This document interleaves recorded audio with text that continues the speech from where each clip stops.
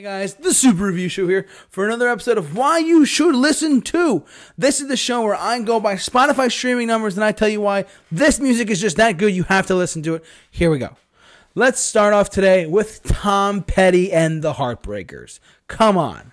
World renowned, unfortunately, he's dead from an accidental drug overdose, and that's a damn shame because his music and he and he was a legend. He was an amazing vocalist, guitar player broke a lot of rules and he really bent a lot of stuff and he did a great job uh, in the music industry to be honest with you. But i wanted to get into i don't have all of his albums. I'm a big tom petty fan. I don't have full moon fever. I don't have wildflowers. I don't have their greatest hits. But i just want to get into the overall like why why you should listen to tom petty and the heartbreakers. Um so a couple things really right off the bat. Tom petty is was a masterful guitar player. Some of some of the best riffs in guitar and rock and roll history, to be honest with you. Kind of like Bruce Springsteen, like on certain songs of his, there's certain piano parts that are iconic. You when you think of that song, you think of that part on the piano or the guitar. He has the same way. If you hear the opening chords to American Girl, great song, quintessential Tom Petty song, just saying. Free Fallin' is not even close to American Girl. American Girl all the way. Um, what was I saying? So Tom Petty, American icon, fantastic artist, some of the best records you'll ever listen to in his life. Uh, his guitar playing is great. His riff writing is great. He's a masterful musical guy. And the Heartbreakers, his, his band, were a fantastic band. I can honestly tell you, I've never, I never saw him live. Unfortunately, I wanted to on his last tour, but I missed the boat on it, and I'm so mad I did because he died that tour. I was so upset. Anyways, that was 2017 back then. Um, but Tom, if you're looking down, you're amazing. God bless. You're you're an icon. Um, American Girl, Mary Jane's Last Dance. Anyone? Uh, learning to fly. Uh, Here comes my girl. Don't do me like that. Um, breakdown. The waiting. So many iconic tracks. Refugee. Come on. So many iconic tracks from this guy. That was just for him and the Heartbreakers. And I want to get into some of his albums just in a second. So the, the great thing about Tom Petty is that he went off and did a solo album in 1989 called Full Moon Fever. And this album had a lot of big hits on it. Fun fact, it's actually produced by Jeff Lynne of Electric Light Orchestra, who helped co-write and produce a lot of the songs.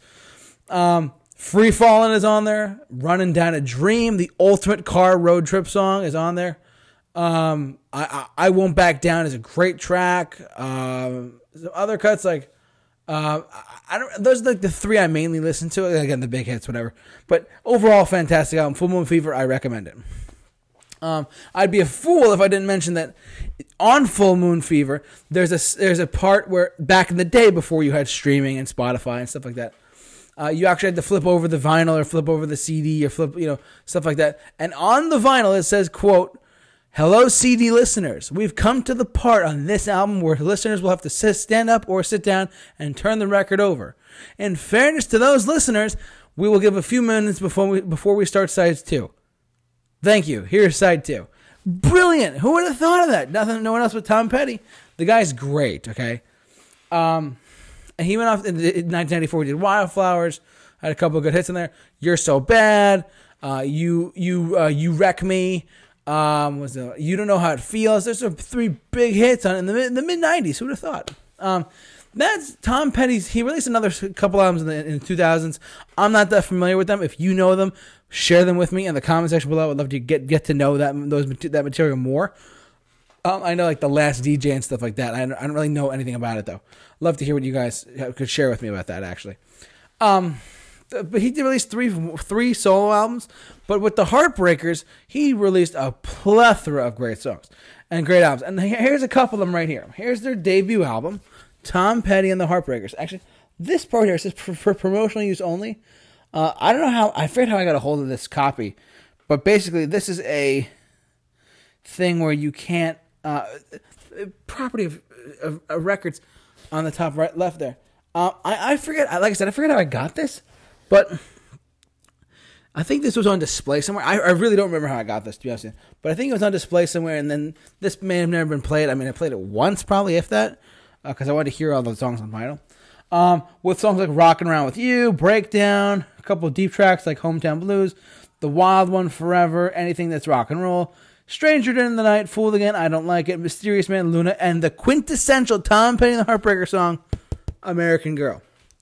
And the Heartbreakers are as follows Tom Petty, Stan Lynch, Mike Campbell, Ron Blair, and Benmont Tench on the back there. See that? Great band, the Heartbreakers. It's a shame Tom Petty's passed, which is very unfortunate. So I do not have their follow up album, but I do have their big breakthrough album, which is Damn the Torpedoes. Uh, this is a great album that came out in 1979.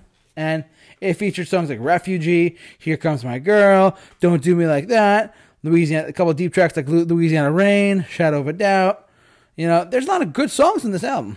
And Tom Petty, of course, you know, killing it. And um, he was great. Uh, here's the here's the front. Here's the back. Uh, he is he was one of a kind, to be honest with you. Um, the album after that came out in 1981, and this is the last, sadly, the last Tom Petty album I have on vinyl. But I said, you know what? I got to get more, so I'll get more eventually. Tom Petty's Hard Promises. Uh, the only really big hit or song off that he played off this album was The Waiting. And honestly, he. That's really the only one I could think of that, that is like mainstream and stuff like that. But honestly, there's a lot of good songs in here too, like, you know, Night Watchman or King's Road, The Criminal Kind. A lot of deep tracks, but some good songs in there still. Um, there's the front, there's the back, there's the band. Good stuff. Um, so those are all the albums I have by Tom Petty and the Heartbreakers. Uh, it kind of goes back and the Heartbreakers and the Heartbreakers and the Heartbreakers. Bruce Springsteen and the E Street Band. Tom Petty and the Heartbreakers. The fact that, the, he released solo albums is fine, but let's face it, without the Heartbreakers, Tom Petty would be nobody. That's just the truth. So, uh, and they released the Greatest Hits in 1994 with and um, with a bunch of tracks on it. But also my one of my favorite Tom Petty and the Heartbreakers tracks, "Mary Jane's Last Dance." What a great song! Okay, that song is awesome, and no one really knows what it means. Like, uh, uh, I'm forgetting the words, but whatever. I think that this, I think that that song is awesome. Uh, I tried covering it at one point in, one, in a band that I was in a little while ago. Um, and he, he, what can I say? What, what can I say? Why should you should listen to Tom Petty? If you like, like, a lot, just be told, a lot of country music today, the artists like Garth, I don't say Garth Brooks, like Luke Combs, people like that, they listen to Bruce Springsteen and Tom Petty because their songs, and, and John Mellencamp, another one, because the Heartland rock was a big influence on the country singers. Then the country singers grew up and became got record deals, and now they're playing like tougher than the rest and American Girl and Mary Jane's Last Dance. Like Zac Brown Band covered Mary Jane's Last Dance a lot. So, and other songs as well, but you know what I mean. Um, but why should you listen to Tom Petty and the Heartbreakers? Um, aside from listening to all the songs, aside from listening to all the hits and the great things that they've done, um, I they're just a all around great band, great iconic frontman, great band, great songs, iconic songs still played today on the radio. Um, even though he's been he's passed, of course. Overall, a fantastic singer songwriter. He wrote from the heart. Uh, people in Florida still celebrate his music because I think he's from he's from Florida. Um, bottom line, I recommend you listen to Tom Petty and the Heartbreakers because this guy is a legend. He's a goat. All right, for all you youngsters out there, he's a goat. He's one of the greatest of all time.